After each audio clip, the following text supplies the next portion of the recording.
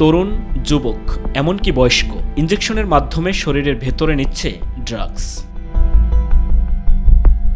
নেশাগ্রস্ত জীবনের সর্বশেষ এবং ভয়াবহ এই নেশা ইনজেক্টিং ড্রাগস নামে পরিচিত। চিকিৎসা ক্ষেত্রে যেসব ইনজেকশন ব্যবহার করা হয়, তার মধ্যে অন্যতম বুপ্রেনরফিন, লুপিজেসিক, টিডিজেসিক এবং বনজেসিক সহ আরও অনেক। সহজলভ্য এসব ইনজেকশনগুলোই ব্যবহার করে নিজেকে ধ্বংস করে দিচ্ছে এসব মানুষ। আর ব্যবহার করা মেয়াদোত্তীর্ণ সিরিঞ্জ এই ড্রাগস নেওয়ার সময় ব্যবহার করে নেশাগ্রস্তরা, এমনকি একটি সিরিঞ্জ ব্যবহার করছেন চার থেকে পাঁচ জনে।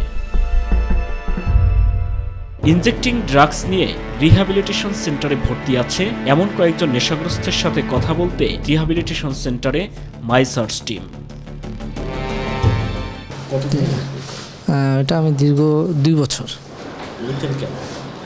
নাও হয়তো আসলে বন্ধু বান্ধবের সাথে পাল্লায় পরে বিসি বন্ধু বান্ধবের সাথে পাল্লায় পরে এই জিনিসটা খাওয়া হয়।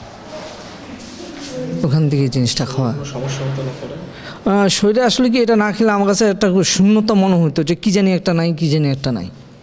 নিদাম এটা মানে আমরা অ্যাকচুয়ালি আমাদের যে সঙ্গ ছিল তে সবই মনে করেন এই রকমই তো ওদের সাথে সঙ্গ দিতে দিতে আমিও শখের বিষয় খাইতে গিয়ে আর ছাড়তে পারিনি। আমিও পরে এডিকশন হয়ে গেছি। পাশাপাশি বন্ধু বান্ধবের সাথে জড়িয়ে খারাপ পোলাপানের সাথে জড়িয়ে খেয়েছি আর কি। হ্যাঁ ভুল করেছি। এই দেড় দুই বছরের মতো। ইনজেক্টিং ড্রাগস নেয়া নেশাগ্রস্তদের কথা জানান এই রিহ্যাব সেন্টারের ক্লিনিক্যাল সাইকোলজিস্ট। সব ধরনের শারীরিক সমস্যা তাদের হয়। স্কিন সমস্যা হয়, দৃষ্টিশক্তির সমস্যা হয়, কিডনি, লিভার এগুলোর সমস্যা হয়, যৌন শক্তির সমস্যা হয়।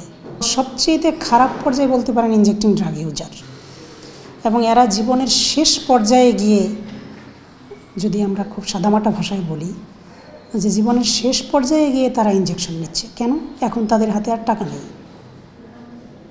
এটা সস্তায় পাওয়া যায় ইনজেক্টিং ড্রাগসের ভয়াবহতার কথা জানালেন অন্যতম বিশ্লেষক ডক্টর অরূপ রতন চৌধুরী। টেন থেকে ফিফটিন পার্সেন্ট ইঞ্জেকশনের মাধ্যমে মাদকাসক্ত এবং দেখা যাচ্ছে যে একটা সিরিঞ্জ বা নিডল তারা যখন গ্রুপ ওয়াইজ বসে দশ বারো জন, তখন তারা শেয়ার করে।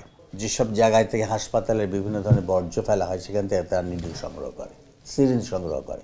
এটা একটা ভয়াবহ পরিস্থিতি। আগামী পাঁচ বছরের মধ্যে বাংলাদেশ এই এইডস আক্রান্ত রোগীর সংখ্যা এই মাদকাসক্তির কারণে একটা ঝুঁকিপূর্ণ দেশে পরিণত হবে বাংলাদেশ। এই ড্রাগস ব্যবহারকারীর সংখ্যা ক্রমেই কমে আসছে জানিয়ে এর বিরুদ্ধে অভিযান অব্যাহত থাকবে বলে জানান মাদকদ্রব্য নিয়ন্ত্রণ অধিদপ্তর। ইনজেক্টিং ড্রাগটা আগে যেভাবে ব্যবহার হতো বিশেষ করে টিটিজেসি বোনোজেসিক কোনোজেসিক এর পাশাপাশি কিছু প্যাথেডিনও ব্যবহার হতো। কিন্তু এখন এই ইয়াবা আসার পর থেকে আহ, প্রসারটা বৃদ্ধি পাওয়ার পর থেকে আমরা ইনজেকশন ড্রাগের ব্যবহারটা কমে গেছে। আমাদের অভিযান অব্যাহত আছে মাঝে মাঝে কিছুটা ইনজেকশন ইনজেকশন ড্রাগ ধরা পড়ে। Saidur Rahman Abir my TV Dhaka.